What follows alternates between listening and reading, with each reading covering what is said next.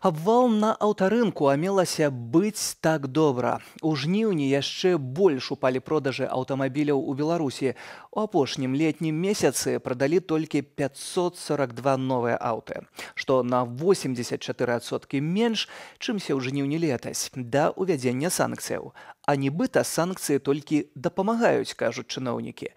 Пры гэтым лідар продажаў расійская лада. За ёю айчынная джылі, а продажаў у жніўні было рэкордна мала. Пра стан аўтапраму Беларусі і рассеі Юля Цяльпок.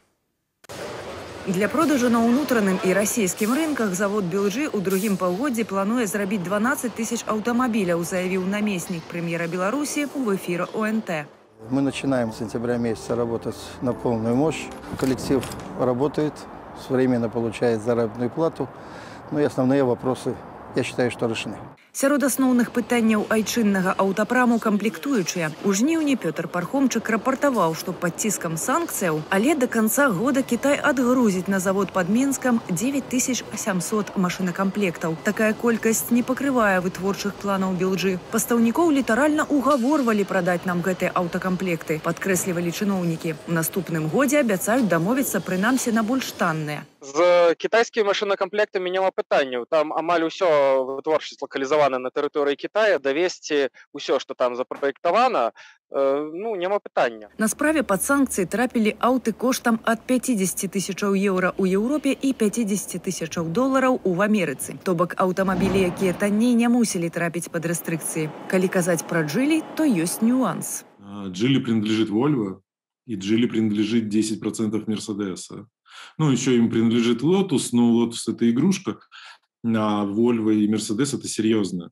И я думаю, что они, естественно, а, смотрят на европейских партнеров і на то чтобы не попасть под рестрикции в Европе. Пасля того як беларускі рынок пакінулі вытворцы амерыканскіх і еўрапейскіх аўтаў лідарам продажаў новых легкавікоў па выніках 8 месяцаў стала лада. Джылі на другім месцы і на трэцім кіа Замест 112 мадэляў летась у продажы 36 мадэляў. А калі паглядзець на аб'ёмы продажаў, то яны праселі амаль на 84соткі, калі параўнаць жнівень гэтага і мінулага гадоў. Гэтыя лічбы паказваюць, што рынок яшчэ не адштурхнуўся ад дна. Аўтаэксперт кажа, сітуацыя падобная на паніку 2014 года. Але ж потым, калі неяк упалі на дно, заземлеліся, зразумелі, дзе яно, колькі рэальна будзе прадавацца, колькі рэальна будзе Э, людям патрэбна на што есть грошы на што есть замоўлення э, неяк з'явілася некая крэсленасць і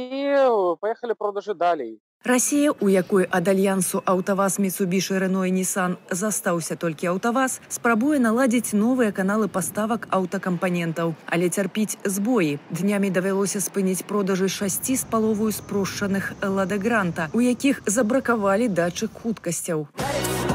Лада Гранта. Новое цифровое поколение. Агулам гэты аўтамабіль не ўязны ў еўразвяз праз тэхнічныя патрабаванні. Аўтаваз пад ціскам санкцыяў пачаў выпускаць спрошчаную версію Лада Гранта, у якой няма антыблакуючай сістэмы тармазоў, трывожныя кнопкі эра Глонас і паветраных падушак бяспекі. Нягледзячы на праблемы, аўтаваз у рассеі упэўнены лідар па продажы новых аўтаў. Нацыянальнае агенцтва прамысловай інфармацыі рассіі паведаміла, што ў жніўні сёлета грамадзяне набылі на 62соткі менш новых легкавікоў, чымся летась у гэтым месяцы. Па выніках года продажаў будзе ўдвая менш згодна з чаканнямі. Але расійскі рынок у адрозненне ад беларускага ўжо адбіўся адна, кажа эксперт. В следующем году я думаю, что мы перешагнем планку в миллион ну, имеем шансы, по крайней мере. Потому что АвтоВАЗ уверенно говорит, что они произведут от 400 до 500 тысяч машин. Китайцы, безусловно, будут э, биться за рынок, пользуясь тем, что европейцы э, ушли. У досанкцыйным 2021 продажаў было на дзве траціны больш. Падобна як Лукашенко патрабаваў росту ад Белджы, Путин от «Аутовазу». Обеспечить работу автомобильных заводов России, их снабжение необходимыми компонентами. Сохранить занятость коллектива квалифицированных специалистов.